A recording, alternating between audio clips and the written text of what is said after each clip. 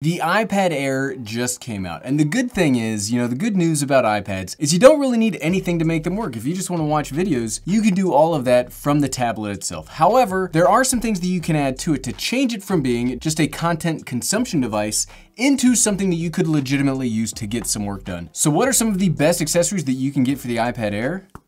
Well, let's find out. Ooh, let's slam this down. And while we're finding out, I'd like to thank today's sponsor, Squarespace. What's up everyone, I'm the Everyday Dad, and if I can figure it out, you can figure it out. So I love, I love gadgets. I love gadgets, I love knickknacks, I love all of this stuff. So these are my absolute favorite videos to make. I love making these, I love when new tech comes out so we can talk about all the little things that we're gonna use to build up around it. So yes, this is the iPad Air 4. I've been using it for a little under a week now, and I've used a lot of these things to make the video that we talked about just a couple of days ago for the video editing, and I've used a lot of these to start working this into like my office setting. So let's start off with that. What do you need to turn this into a monster office productivity device? And the first thing you're really gonna need is you're gonna need some kind of a stand and some kind of a keyboard because you can't work really well, you know, when you're holding it, and you can't really type really well without an actual keyboard. So the cool thing is, much like the rest of the iPad line, there are certain keyboard cases that are stands and keyboards built together. And the best part is, a lot of these are interchangeable with the iPad Pro. So if you have previously had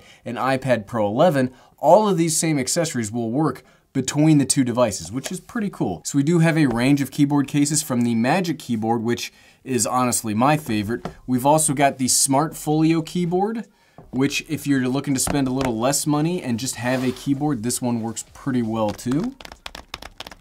You do lose out on the trackpad and the extra charging functionality. And so Logitech has the Folio Touch, which is more of like a case that also has a keyboard on it. And you can use the iPad Air in this because it's basically almost the exact same size as the iPad Pro. The problem though, if you wanna use this as like your case, something you're gonna notice is this, the iPad Air does not have Face ID, so you can't look at it to unlock. You have to use the Touch ID that's built into the power button. However, if you use the Logitech Smart Folio, you lose out on the Touch ID. Now that's not a deal breaker, like you could just input your passcode and then get going. You could absolutely do that if you want to, if you want a little more protection, because this is like, let's be honest, this is a case, this is gonna keep your iPad very safe if you are a drop prone person. I'm not saying I'm a drop prone person. Okay, I am saying I'm a drop prone person. I drop stuff all the time, even though I don't necessarily use this, because part of the reason that I would consider using this over my iPad Pro is that Touch ID. So if I'm gonna lose out on Touch ID, but you could if you really wanted to. And that's the point that I'm trying to make. If you are looking to really get the best and most like convenient feature, the Magic Keyboard is really good. The problem though with the iPad Air is the Magic Keyboard is pretty expensive. It's like 300 bucks. I mean, that's expensive whether you buy this for the iPad Pro or the iPad Air, but when you talk about the iPad Air at a $600 entry level price point, that's half the cost. And so I mean, I still really like it. I like that you can still get the extra charging port. I like that it's got the trackpad here. This is what I would use, but I already have one. Would I buy this if I was buying the iPad Air for the first time? If I needed the best, yes, but you can get a lot of the same functionality without spending nearly this much money. You can get a lot of the same without spending nearly this much money. What you could do, and this is something we talked about with the iPad Generation 8, but I've been so impressed with this um, this is just a simple stand from a company called Nulaxy. I'm sure there's a whole bunch of these kind of things that you could find on Amazon. But basically what this is, is it's just like a little stand for the iPad, but it gives you all sorts of way where you can get it up, get it angled in a way that you could actually use it for work if you wanted to, and then what you can do is you can buy a Bluetooth keyboard. You don't have to get this specific Microsoft Bluetooth keyboard. I bought a Bluetooth keyboard to make with this video, but it got lost in Amazon delivery heck. We don't curse here, family friendly channel. Um, but it got lost in the delivery somewhere. So who knows if it's ever gonna get here. But this one or something similar to this, you can find these very cheaply on Amazon too for like 10, 15 bucks. I'll leave some in the description below.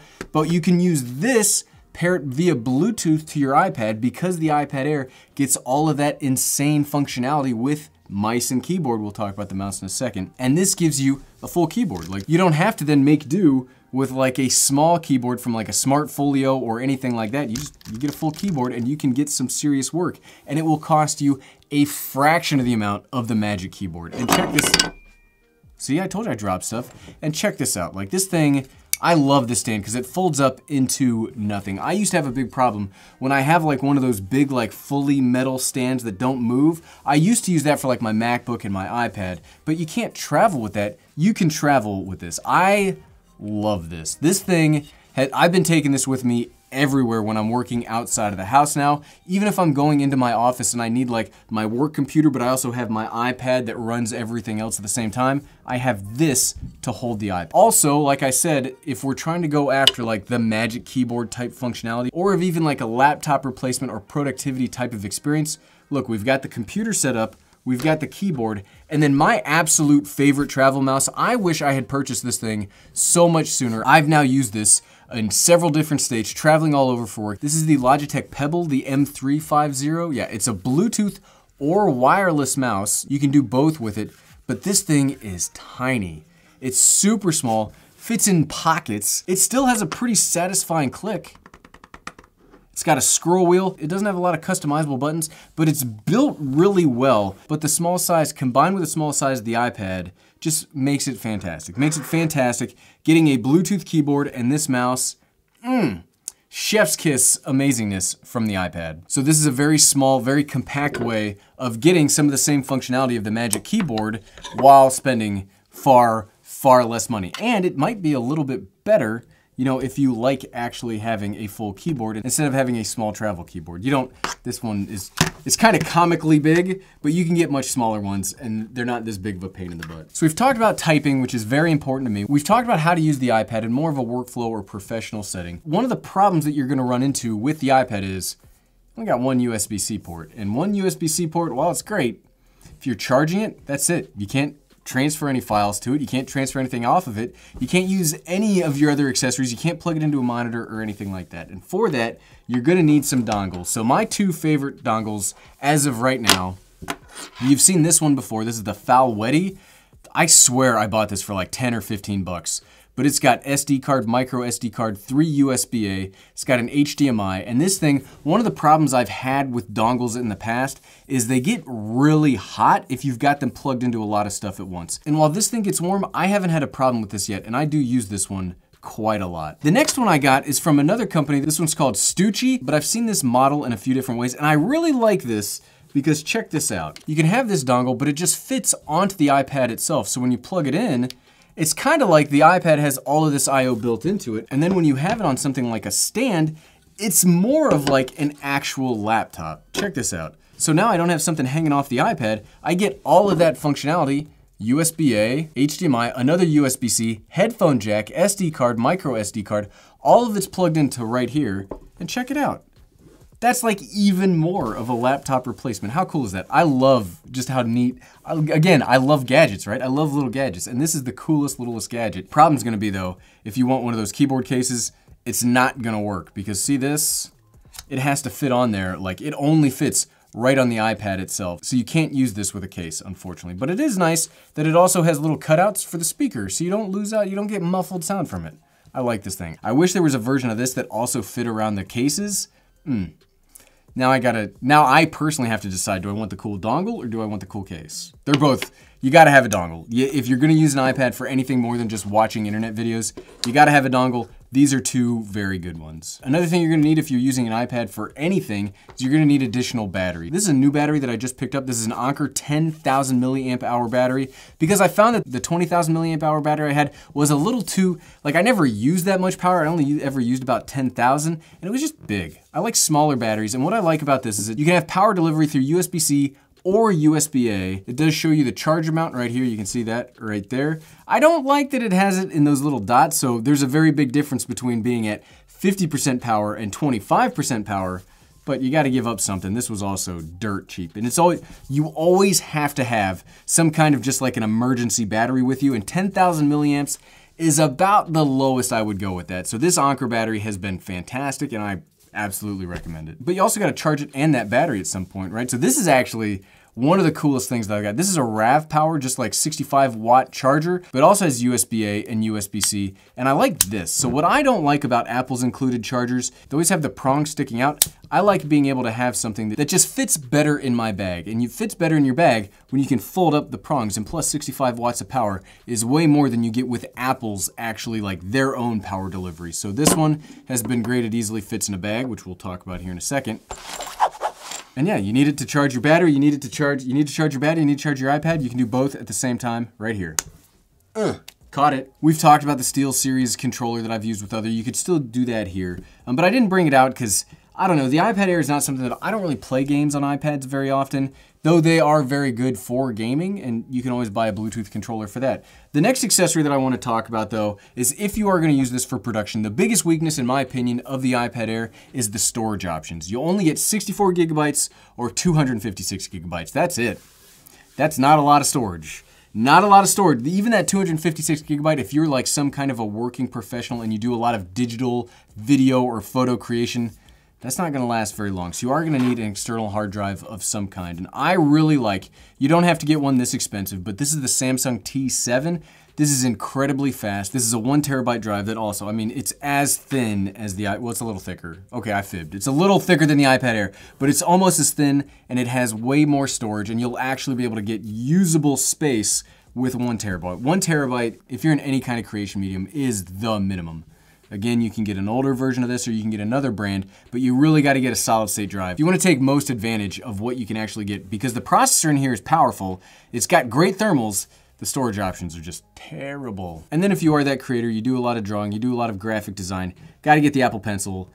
I never, the cool thing about the iPad Air is it uses the Apple Pencil from the iPad Pro version, so it's the one that just magnetically sticks on top. It charges by being just stuck on top of the iPad, which is pretty cool. I mean, I never use it because I'm not much of a drawer, but it's just nice to have it, right? It's nice to have it, and then it works really well in thumbnails, right? But for some people, and if you're a drawer, if you're an artist out there, this is a lifesaver. I've seen people create amazing things with this pencil. And then because you gotta put it all in something, you gotta have some kind of like tech bag. I love, my favorite the thing that I like most out of all of these gadgets is the tech bag itself. Like the, the bags, I have a soft spot for backpacks and just cool. I have so many like tech bags in my office over here. But this is one that I've actually really enjoyed. We had the Native Union one, but I figured you guys were probably sick of always seeing that one. And it doesn't have the most amount of space. So if you do have a substantial amount of accessories, I really like this BAGSMART option because the thing that you really got to look for in tech bags or any bags, any textile product is the zippers. The zippers are the most important part of a bag. And these zippers are fantastic. Listen to that. They're not YKK zippers. YKK zippers are the standard when it comes to zippers. But these are really well constructed. It's got, it doesn't have double stitching, which is what I would prefer if I was buying something to be more rugged. It's got single stitching, but you'll see the stitching here is all pretty good, especially for the budget price that you pay for it. You can fit lots of cables and stuff in these little straps. You can fit a mouse, you can fit your phone, you can fit your solid state drive, your dongle, everything can go in this bag. And it's got another little pouch for smaller things. It's got a little SD card holder right here because let me tell you, somebody that travels with SD cards, you will lose SD cards all of the time. But it's built really well. It's not waterproof. It's not even that water resistant. You can see there's not a water resistant taper to these teeth of the zipper, but it'll survive getting a little wet. It'll keep all your stuff organized and together. And, I mean, there you go. Just these two together, you throw it in a backpack, you are ready to go. I would also recommend buying a screen protector. Again, much like the keyboard, my screen protector is not here yet. It's lost in the delivery system. Thank you. I'm, it's not like I wanted a screen protector. I do. I always have a screen protector. Now, there are various versions out there. You can get like a matte screen protector that makes it more like paper. I don't really like those as much. I like the glass versions. That's what I have on my iPad Pro. I buy this because I like the screen. I just don't want the screen to get scratched up so much. So I buy something that's very similar to the screen to put on it to protect it. But those are all my favorite accessories for the iPad Air. I love having all these little gadgets. I love having them.